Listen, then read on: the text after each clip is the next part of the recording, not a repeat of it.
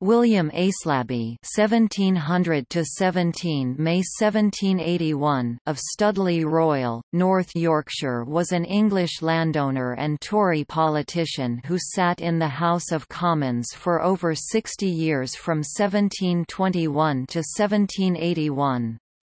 His long unbroken service in the House of Commons was only surpassed, more than 100 years after his death, by the 63 years achieved by Charles Pelham Villiers at Wolverhampton.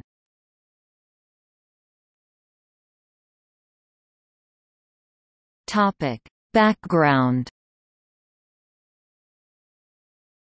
Aislabie was the son of John Aislabie of Studley Royal, North Yorkshire and his first wife, Anne Rawlinson daughter of Sir William Rawlinson of Hendon.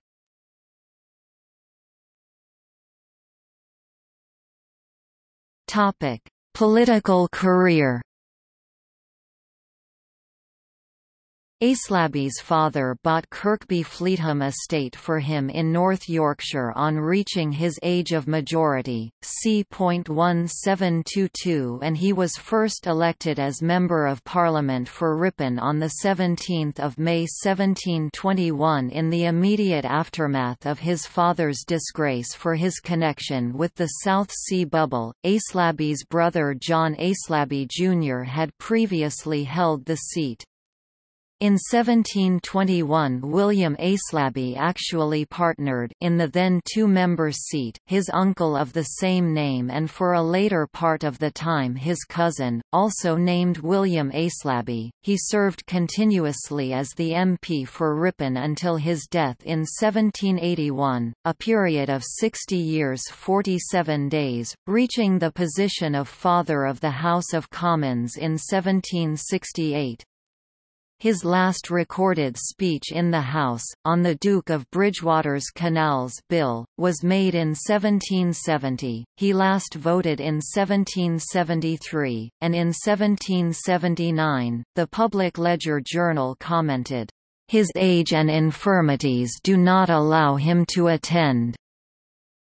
In 1738 Aislabie was also appointed as an auditor of the imprests, and from 1749 until his death was registrar of the consistory court of the Diocese of York. On his father's death in 1742 he inherited the Studley estate and in 1768 purchased the adjacent Fountains estate for £16,000.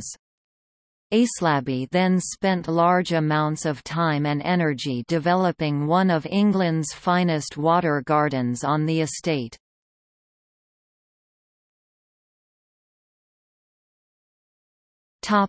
Family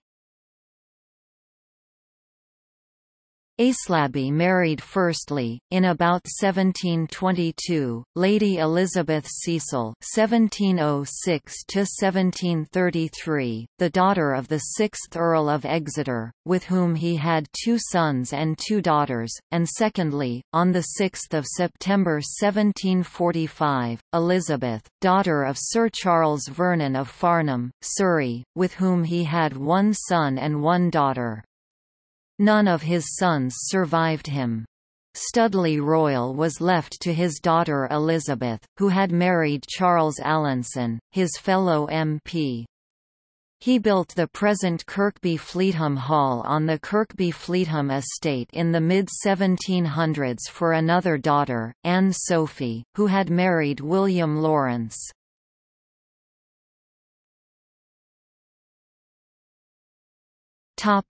Sources. Roots web article on Aislabie Parks and Gardens website. Burghley Portrait of William Aislabie of Studley Royal, Jonathan Richardson 1667–1745